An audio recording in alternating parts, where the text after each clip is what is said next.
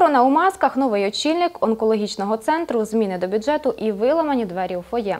Так, депутати обласної ради продовжили сесію, яку свободівці зірвали 5 березня. Тоді голова Олександр Чорний Іваненко оголосив перерву, бо кілька годин у залі засідань група підтримки Ігоря Степури, він сам і його брат-депутат, то блокувала трибуну, то вмикала сирени.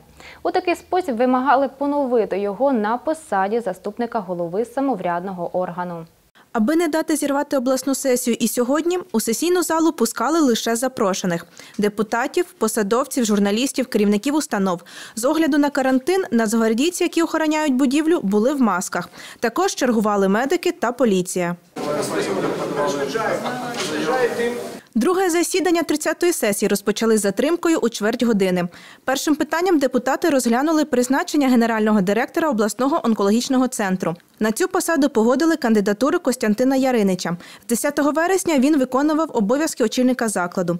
Рішення прийняли без обговорень. За проголосували 33 депутатів. Ми розвиваємо не тільки онкологічний центр, а онкологічну службу. Ну і звичайно, коли ми е, знаємо про те, що у нас захворюваність одна із самих високих, е, то е, треба на це звертати увагу. І від того, хто є керівником онкологічної служби, ну залежить досить багато. У нас є дуже такий хороший колектив, який вибудовувався ще моїм батьком, і на протязі багатьох років вже ми йдемо вперед. У той час, як депутати обласної ради голосували за зміни до цільових програм, свободівці Ігор і Руслан Степури знову у супроводі активістів намагалися потрапити на сесійне засідання. Людей із гучномовцем не пустили. Свободівці влаштували у фоє бійку. Руки заберіть! Руки заберіть! Буде застосовувати фізичну силу! Дайте прийду А яке ти маєш право до нього силу застосовувати? Яке він має право до мене застосовувати? Так він депутат! Зрештою, Ігоря Степуру нацгвардійці пропустили на сесію. Руслана ж попросили залишити гучномовець. Депутат відмовився.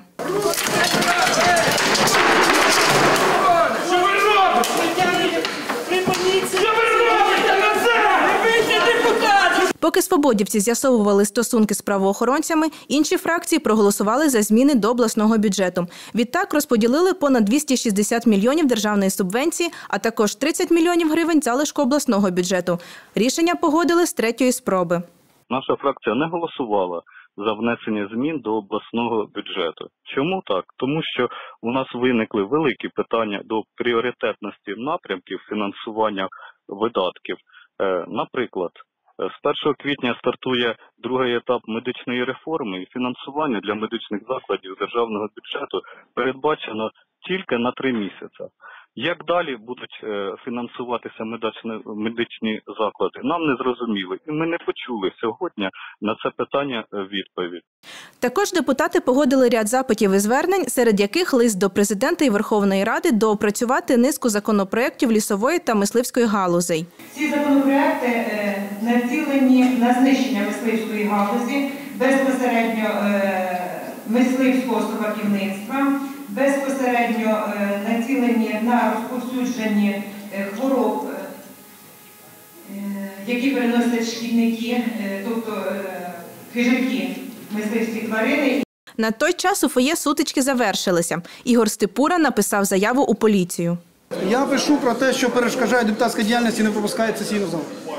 Нарешті дійшла черга до питання про поновлення Ігоря Степури на посаді заступника голови обласної ради.